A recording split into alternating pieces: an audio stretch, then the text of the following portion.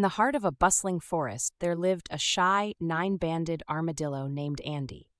His leathery armor shell was his pride and his shield, protecting him from the world's uncertainties. Whenever he felt scared or unsure, Andy would curl up tightly into a ball, feeling safe within his own little world. One sunny afternoon, Andy encountered a gray American opossum with a white face and pointed snout. His name was Oliver, and unlike Andy, he was curious and adventurous. Oliver loved exploring the forest and was always eager to make new friends. He greeted Andy with a cheerful smile, hoping to make a connection. As they chatted, Oliver shared stories of his escapades, while Andy listened, wide eyed. But their conversation was cut short when a sudden rustle in the bushes startled Andy. In an instant, he rolled up into a ball, and Oliver, surprised by the sudden movement, played dead. The forest fell silent as they both lay there, each dealing with the scare in their own way.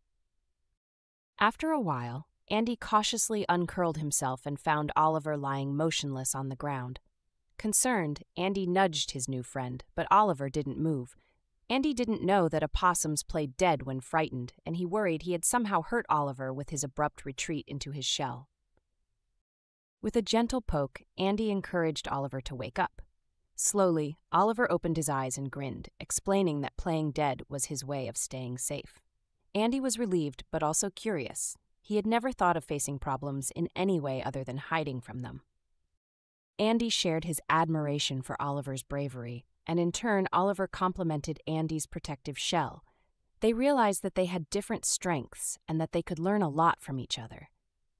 As they talked, a new problem arose. A group of forest creatures needed help finding their way back to their homes. The two friends put their heads together, combining Andy's knowledge of the forest's paths and Oliver's boldness in exploring unknown areas.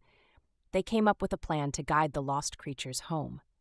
Andy felt a spark of excitement at the idea of venturing out of his comfort zone, with Oliver by his side. As they led the way, Andy's confidence grew. He found that with Oliver's encouragement, he could do more than he ever thought possible. Together, they helped each lost creature find their way back, and the forest was filled with the sounds of gratitude and joy. At the end of the day, Andy and Oliver sat side by side, watching the sunset. They had not only solved a problem, but had also built a strong friendship. Andy learned that empathy and understanding others' perspectives could lead to creative solutions, and Oliver discovered the value of having a cautious friend who thinks things through. Hey there! Thanks for listening to our story today. If you want to get a new story every day, make sure to subscribe. Or, if you want to generate your own customized stories using the power of AI, download the Storigami app for iPhone and iPad today.